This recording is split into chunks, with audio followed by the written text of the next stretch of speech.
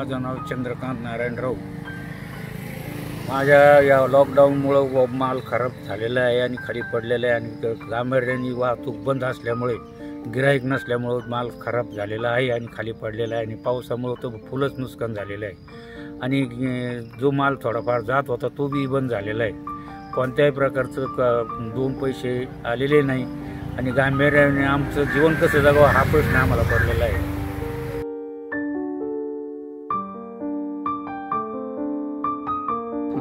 अशी परिस्थिती असल्यानंतर सरकारने काहीतरी गांभीर्याने आमचा विचार करून आम्हाला काहीतरी मदत करावी.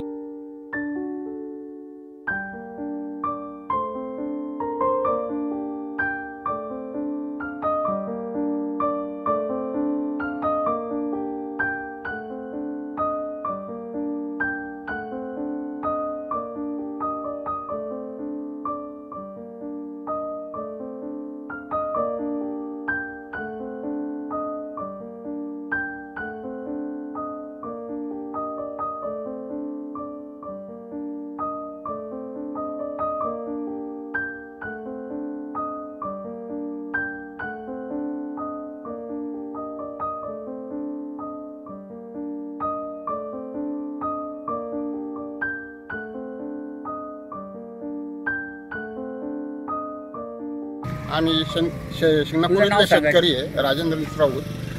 परवा दिवशी पाच वाजल्यापासून जर एक वाजेपर्यंत पाऊस झाला. दोन एकर मला जमीन आहे. त्याच्यात पूर्ण सोयाबीन केलेले आहे. ते सोयाबीन पूर्ण शंभर टक्के खराब झालेलं आहे.